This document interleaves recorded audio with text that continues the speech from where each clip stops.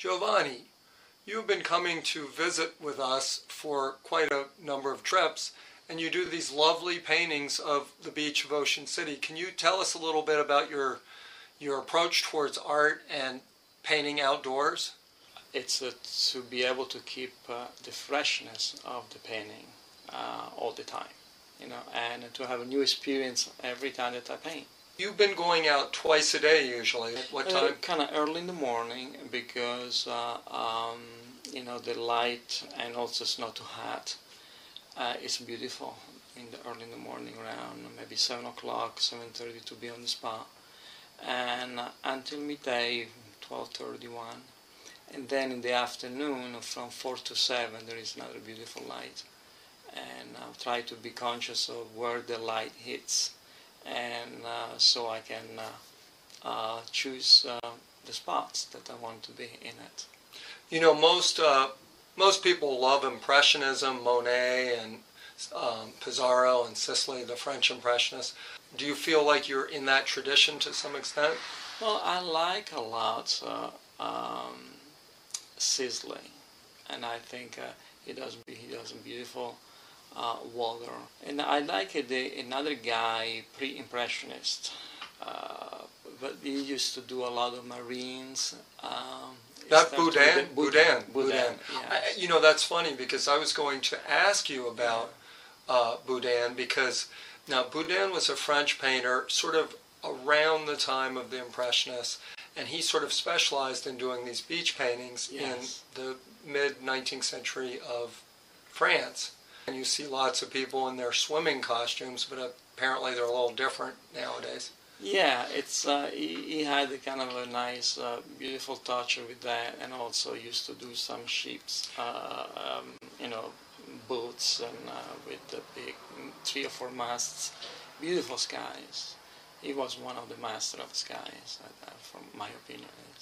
Now, you once told me that uh, when you were in art school, the great your great mentor was a painter named Seymour Remenick. Yes. Can you tell us a little bit about Seymour Remenick? What kind of artist was he, and what kind of person was he? Well, I think he was very affected by Rembrandt, and uh, especially the drawings, um, and also to be present when uh, a painter does a painting, to be really in the moment. Seymour, I think that's the the person that gave me a lot of inspiration in my work.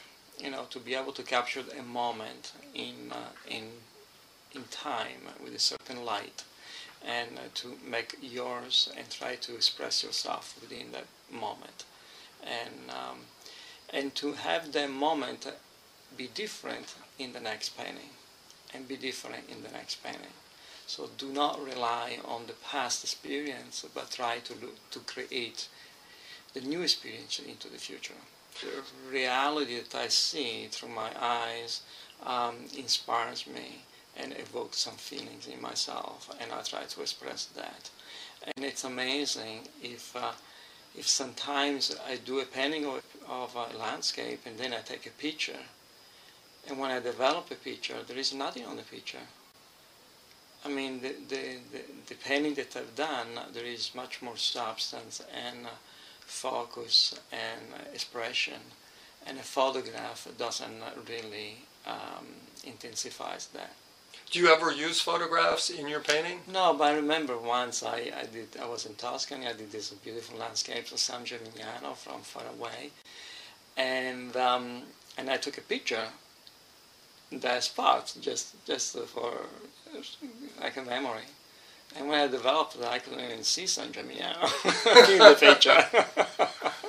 Instead, in my paintings, it was the predominant, you know, subject matter. So we have a wonderful tool, our eyes, that is, uh, you know, much far superior of anything else in our own feelings. That's uh, that's another beautiful tool, our own feelings, you know. So I play with that. Now, one artist that I always think of uh, when I think about your work is the the great Italian master uh, who worked mostly doing still lifes, um, Morandi, Giorgio Morandi. Uh, now, both you and he seem very interested in the texture of paint, paint as a substance. Is that important to you, the, the physical nature of the, the brushstrokes and the paint? Very much. It's a very, very important because I think uh, the material itself has a beauty in it.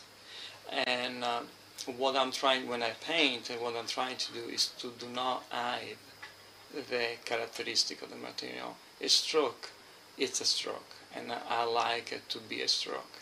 And in certain context, the stroke becomes an object or a piece of light and describes much more than a stroke itself. The way I always like to, to think about it is that a, a painting is an image and an object. It's an image of perhaps a, a place in the world, but it's a physical object.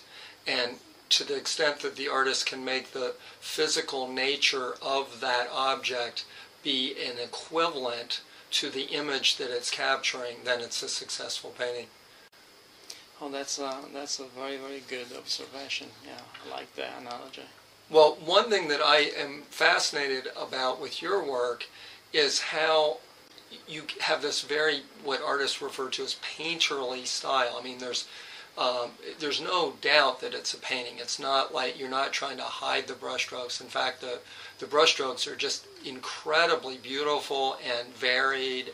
Uh, but in some of these, there is such an illusion of, uh, I mean, I'm thinking um, specifically of some of these crowded beach scenes where it, you really get a feeling of hundreds of people, and they're just these tiny, tiny little blips of color. How, how do you do that? Or well, I, I think I have to have a very small brush and try to understand the feelings that the mass of people has given me and trying to reproduce that feeling.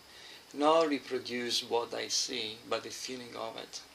And that uh, um, it's not copying it but try to extract what I feel and try to try, try to translate that in, in uh, paint.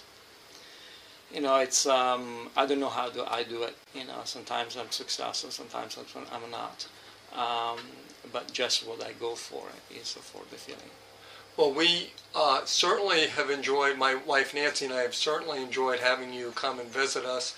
Uh, Giovanni usually stays for a week or so, and he, he is very prolific. Um, uh, he hasn't threatened to cut off his ear yet, so we must be doing something right as hosts. And uh, we enjoy this immensely. And little by little, bits by bits, I construct this uh, very interesting. Uh, at end, at the end, I was a little lost, but um, I had faith. I kept going, and it seems like the, everything worked out.